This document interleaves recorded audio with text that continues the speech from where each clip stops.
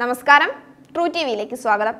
അപ്പോൾ നമ്മുടെ ഓണം ഇങ്ങെത്തി ഓണത്തിന് വിഷസദ്യ കഴിക്കാൻ മലയാളി തയ്യാറായും കഴിഞ്ഞു. നമ്മുടെ കുഞ്ഞു മക്കൾക്ക് സ്നേഹത്തോടു കൂടി ഉരുളെ ഉരുട്ടി വിഷം വായി വെച്ച് കൊടുക്കാനും നമ്മുടെ അച്ഛനമ്മമാർക്ക് സ്നേഹത്തോടെ തന്നെ വിഷം ഊട്ടാനും നമുക്ക് സ്വയമായിട്ട് തന്നെ വിഷം കഴിക്കാനുമെല്ലാം മലയാളി തയ്യാറാണ്. ഇപ്പോൾ കുറേ നാളുകളായി മലയാളിയുടെ ആഘോഷങ്ങളെല്ലാം അന്യ സംസ്ഥാനങ്ങളെ ആശ്രയിച്ചാണല്ലോ ഉള്ളത്. പ്രത്യേകിച്ച് തമിഴ്നാട്ടുകാരെ. തമിഴ്നാട്ടുകാരെ കുറ്റം പറയുകയല്ല.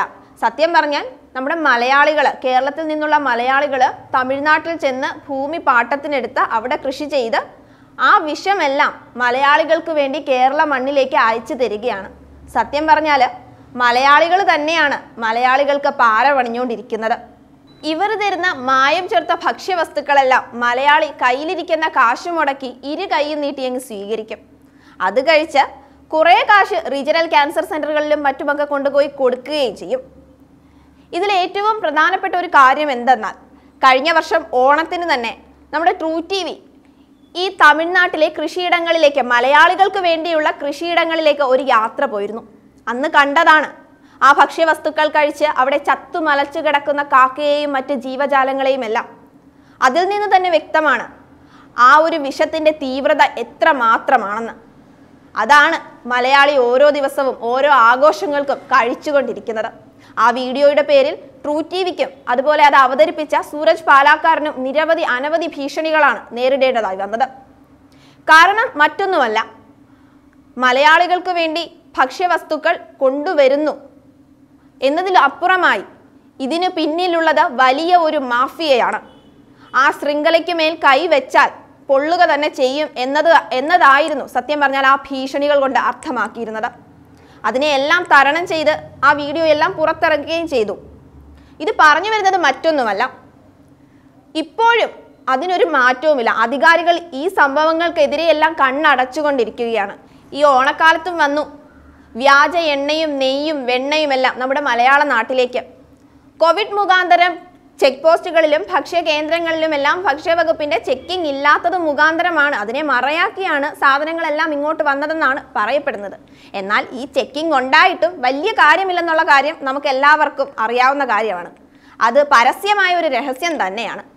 കാരണം മറ്റൊന്നുമല്ല നമ്മുടെ ഏമാന്മാർ അവർ ചെയ്യുന്ന ജോലി എന്താണെന്ന് സത്യം പറഞ്ഞാൽ അറിയാതെ ചെയ്യുവാണോ? അതോ ഇനി അവർക്ക് താളം തുള്ളി ചെയ്യുവാണോ എന്നുള്ള കാര്യം അറിയില്ല. അല്ലെങ്കിൽ പിന്നെ നാളുകളായി ഇങ്ങനെ വിഷം മലയാളി കഴിച്ചുകൊണ്ടിരിക്കില്ലല്ലോ. ഇത്തവണ വന്നിരിക്കുന്ന നെയ്യിലും വെണ്ണയിലും എണ്ണയിലുമെല്ലാം മൃഗക്കൊഴുപ്പ് ഉൾപ്പെടെയാണ് അവർ ചേർത്തിരിക്കുന്നത്. പോരാത്തതിന് കളറിനു വേണ്ടി ബട്ടർ യെല്ലോയും കേടാകാതിരിക്കാൻ ഫോർമാലിൻ ഉൾപ്പെടെയാണ് കലർത്തിയിരിക്കുന്നത്. ഉരുളക്കിഴങ്ങ് പൊടിയും മധുരക്കിഴങ്ങ് പൊടിയും എല്ലാം ഉണ്ട്. പാകത്തിന് കേരളത്തിൽ തന്നെ സംസ്ഥാന സർക്കാരിന്റെ ഒരു ബ്രാൻഡായിരുന്നു കേര വെളിച്ചെണ്ണ. കേരയുടെ പേരിൽ നിരവധി അനവധി ബ്രാൻഡുകളാണ് വ്യാജ ബ്രാൻഡുകളാണ് ഇറങ്ങിയത്. നാൽപ്പത്തി രണ്ടോളം വ്യാജ ബ്രാൻഡുകൾ ഇറങ്ങിയതിന്റെ പേരിൽ കേര നിരോധിക്കുകയും ഒക്കെ ചെയ്തു. പക്ഷേ എന്താണ് സംഭവിക്കുന്നത്? ഒരു ബ്രാൻഡ് നിരോധിച്ചാൽ പേര് മാറ്റി അതേ വെളിച്ചെണ്ണ തന്നെ വീണ്ടും നമ്മുടെ വിപണികളിൽ സുലഭമായി ലഭിക്കും. ഇതാണ് നടന്നു വരുന്നത്. അതുകൊണ്ട് തന്നെ ഈ നിരോധനമൊന്നും അതിനുള്ള ഒരു ശാശ്വത പരിഹാരമല്ല. കേരളം ഇങ്ങനെയാണ് മലയാളി ഇങ്ങനെയാണ് നമ്മുടെ അധികാരികളും സർക്കാരും ഇങ്ങനെയാണ്. ഇവിടെ ഇതൊക്കെ നടക്കൂ. മലയാളിക്ക് ഇപ്പൊ ഓണത്തിന് അത്തപ്പൂക്കളം ഇടണമെങ്കിലും അന്യ സംസ്ഥാനങ്ങളെ ആശ്രയിക്കണം. സദ്യവട്ടം ഒരുക്കണമെങ്കിലും തമിഴൻ കനിയണം. നമ്മുടെ സർക്കാരിന്റെ അധീനതയിൽ ഏക്കർ കണക്കിന് ഭൂമിയാണ് കേരളത്തിൽ തന്നെ ഉള്ളത്. എന്തെങ്കിലും ഒരു സഹായം നമ്മുടെ സാധാരണക്കാരായ കൃഷിക്കാർക്ക് നൽകിക്കൊണ്ട് ആ ഭൂമിയെല്ലാം കൃഷിയിടങ്ങളാക്കി മാറ്റിയാൽ നമുക്ക് അന്യ സംസ്ഥാനങ്ങളെ ആശ്രയിക്കേണ്ടതായി വരില്ല. അന്യ സംസ്ഥാനങ്ങളിൽ നിന്നും വരുന്ന വിഷം കഴിക്കേണ്ടതായും വരില്ല. എന്നാൽ അതിന് ആരും തയ്യാറാകുന്നില്ല എന്നതാണ് സത്യം. സംസ്ഥാന സർക്കാരുകളോ സർക്കാരിന് കീഴെയുള്ള ജീവനക്കാരോ ആരും. അതിനുള്ള കാരണവും വ്യക്തമാണ്. കമ്മീഷൻ.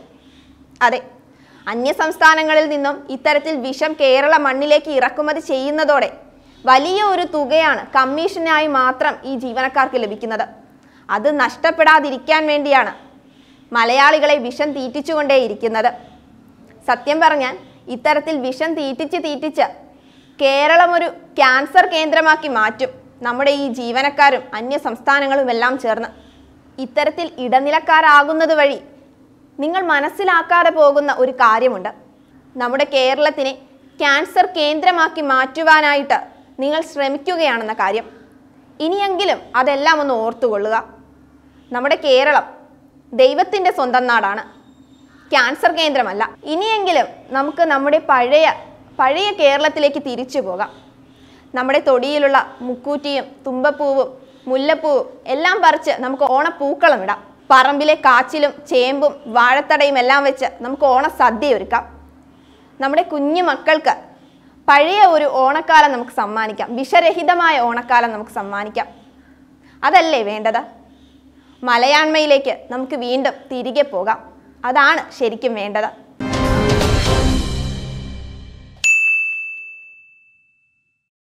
ട്രൂ ടി വിയുടെ കൂടുതൽ വീഡിയോസിനായി ചാനൽ സബ്സ്ക്രൈബ് ചെയ്യൂ.